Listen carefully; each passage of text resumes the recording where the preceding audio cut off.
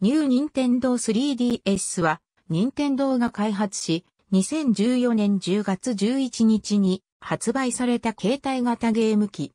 ニューニンテンドー 3DS と大画面のニュー、ニンテンドー 3DSLL は2014年8月29日の任天堂 3DS ダイレクト2014.8、29で発表され、任天堂 3DS の上位互換機として、同年10月11日に発売された。特徴として、NFC と C スティックと ZL ボタン、ZR ボタンが追加され、周辺機器の拡張スライドパッドの役割を果たすようになった。また、旧型任天堂 3DS 任天堂 3D SLL よりも性能が向上した。だが、次世代機ではなく、あくまで任天堂 3DS のマイナーチェンジモデルという位置づけになっている。2017年7月13日、任天堂はニュー任天堂 3DS の生産を終了したと発表した。発売してから2年9ヶ月であった。2020年9月16日、ニュー任天堂 3DSLL、任天堂 2DS、ニュー任天堂 2DSLL を含むすべてのシリーズ本体の生産終了が発表された。任天堂 3DS の周辺機器である拡張スライドパッドの代わりになるボタン。C スティックはスライドパッドとは違う仕組みになってはいるが、拡張スライドパッドの R スライドパッドと同じ操作をすることができる。ZL ボタン、ZR ボタンは拡張スライドパッドについているボタンと同じ操作をすることができる。本体の内側カメラで顔を認識するセンサーがあり、操作中に本体や顔が大きく動いても顔の位置を認識して自動調整する。本体設定でさらに微調整が可能。NFC に対応しており、下画面にアミーボなどとの読み書きが行うエリアが搭載されている。2014年12月9日からは電子マネーの決済、アミーボに対応した。対応電子マネーは Wii U で、すでに対応している、交通系電子マネーのスイカ、パスモ、キタカ、トイカ、マナコ、アイコカ、シュゴカ、ニモカ、ハヤカ県の9種類。ピタパは、電子マネーの決済はできないが、目が、見巡りで連動した遊びに使用することが可能だった。ニューニンテンドー 3DS シリーズは CPU 性能が旧型より向上しているため、ニュー 3DS シリーズで遊ぶ際には、処理速度が向上して動作が快適になったり、画面効果が向上するソフトが発売されている。本体発売から5ヶ月間は性能を活かして、ニュー 3DS シリーズのみで遊べる専用ソフトは発売されていなかったが、2015年4月2日に、初のニュー 3DS シリーズのみで遊べる専用ソフト、ゼノブレードが発売された。また、2016年3月4日より配信開始されたスーパーファミコン用ソフトのバーチャルコンソールもニュー 3DS シリーズのみで遊べる。なお発売済みである任天堂 3DS シリーズ及び任天堂 DS シリーズのソフトも引き続き使用できるが発売済みのソフトについては起動や終了の際の動作が軽快になる以外の機能向上はない。ただし本体の形状やゲームソフトのスロットの位置が異なるという理由で、ポケモントレッタラボ4任天堂 3DS など一部のソフトはニュー 3DS には対応しない。ニュー任天堂 3DS シリーズでは標準でテーマ機能が追加されており、ホームメニューを着せ替えてカスタマイズすることができる。テーマはテーマショップで販売されており、背景、BGM や効果音、ホルダやアイコンなどが専用のものに変えられる。また一部無料で配信されるテーマもある。この他にもゲームソフトや限定版ニュー 3DS 本体の特典などとしてテーマがついてくるものもある。ニュー 3DS 販売から間もない2014年12月に画面上にバッジを飾る機能が追加された。バッジの入手方法は同時期に開始したバッジ取れるセンターでクレーンゲームの容量でバッジを入手する。ニューニンテンドー 3DS シリーズのインターネットブラウザーは動画再生にも対応しており、HTML5 に対応している動画サイトなら再生可能だがフラッシュを利用しているサイト、動画サイトはこれまで通り見ることができない。また新しいインターネットブラウザーは YouTube の 3D 動画にも対応しており、3D 動画が再生可能になっている。なお 3DS には YouTube 再生用の専用アプリが提供されているが、アプリでは 3D 表示は非対応となっている。ニューニンテンドー 3DS になり、メインメモリーの容量が増えたためか、以前の 3DS にはなかったタブ機能が追加されている。またニュー 3DS シリーズからは、インターネットブラウザーのフィルタリング機能が標準で有効となっている。任天堂側は子供が有害なサイトにアクセスしないようにするための処置として説明。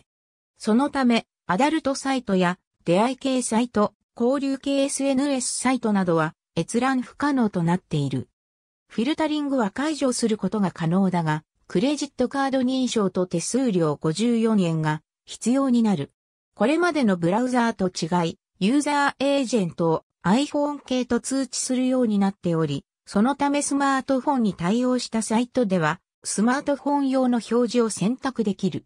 また、インターネットブラウザーには各種ゲームが搭載されており、新規にタブを開いた直後の新規ページでハイパーリンクになっていない場所をスーパーマリオブラザーズの地上 BGM のリズムでタッチした後に表示されているハイパーリンクを選択すると、その URL がブロック化し、ブロック崩しが始まる。ニューニンテンドー 3DS のみに対応。ニューニンテンドー 3DSLL には取り付けることができない。着せ替えプレートには上と下があり下のプレートを交換するには別途プラスドライバーが必要。プレートの柄はマリオやルイージなど本体と同時に38種類を発売。任天堂からは2016年3月までに76種類を販売している。3DS 間での引っ越しについて、従来型の任天堂 3DS、3DSLL 及び同等の能力の任天堂 2DS からニュー 3DS ニュー 3DSLL への引っ越しについては対応しているが、ニュー 3DS ニュー 3DSLL から従来型の任天堂 3DS 3DSLL 任天堂 2DS への引っ越しについては対応していない。また、任天堂ダシーからの引っ越しについても対応している。3DS と同様に本体のシステムソフトウェアや内蔵ソフト、機能はインターネットや一部のゲームソフトを利用して更新することができる。更新が完了すると本体のバージョン番号が変わる場合がある。バージョン番号は本体設定内の上画面に表示される。ただし一度更新が完了すると、過去のバージョンへ戻すことはできない。以下では、日本国内仕様の 3DS 向けに配布されている更新プログラムについてのみ記載している。ニュー 3DS シリーズ発売時の日本国内仕様の本体の初期バージョン番号はバージョン8.10から 0J である。バージョン9系列バージョン10系列バージョン11系列、任天堂 3DS 及び任天堂 3DSLL の使用は、任天堂 3DS 仕様を参照。は、使用可能を表し、×は、使用不可能を表す。以下の記述は、特記事項のない限りは日本での発売日。新モデルの任天堂 3DS。新モデルの任天堂 3DSLL。任天堂 3DS と異なる点を以下に列挙する。一つ目が液晶照明の自動調節機能である。これは、プレイしている空間の明るさに応じて、液晶画面の明るさを自動調節する機能のことである。これにより、暗い部屋、明るい部屋でゲームをプレイする際、画面の明るさを自ら調整する必要がなくなった。二つ目が外部記憶媒体である。ニュー 3DS シリーズでは、旧型で採用していた SD カードではなく、マイクロ SD カードを採用している。これは本体の大きさの拡大を最小限に止めるためである。しかしマイクロ SD カードの差し込み口はバッテリーカバーを外さないと確認できない仕組みになっているが、それの補強策として新たに本体のマイクロ SD カードをパソコンを使って管理できる機能を初搭載した。